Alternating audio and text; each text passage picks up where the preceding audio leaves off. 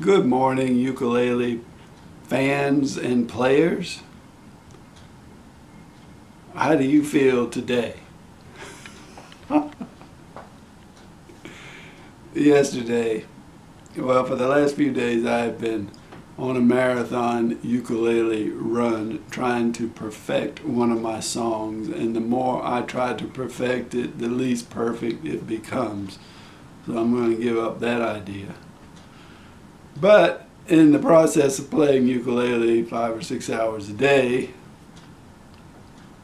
sometime around yesterday afternoon, I told Ginger, I said, Oh, my elbow hurts right here. Oh.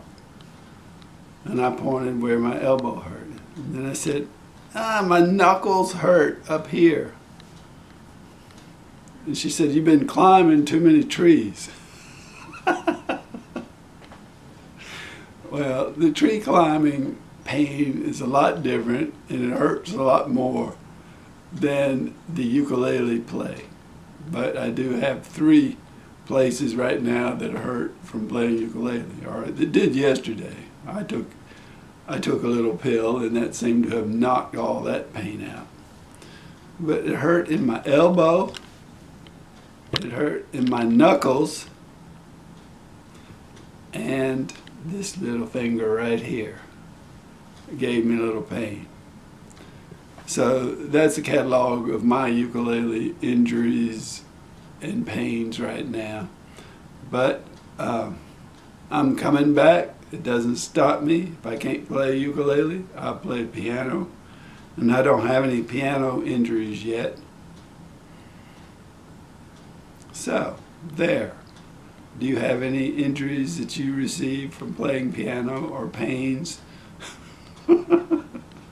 it's a dark, dreary, foggy day. When we moved to the mountains of northeastern Alabama, we had no idea that for about 30 days, a month or more, we would be in the clouds. And a couple of days ago, it was foggy and raining at the same time. That is an eerie feeling because I felt like our house was right in this very same area where the rain was being manufactured, which is really strange because normally rain comes down on you. But we were right in the uh, midst of where the rain was being made, I do believe.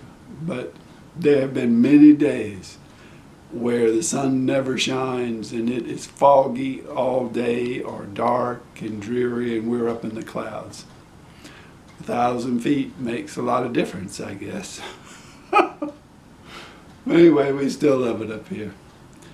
I hope you're having a great day. This is a wonderful time for us, and I'm looking forward to continuing as I've been going, music getting better and better, and life better and better as time goes by.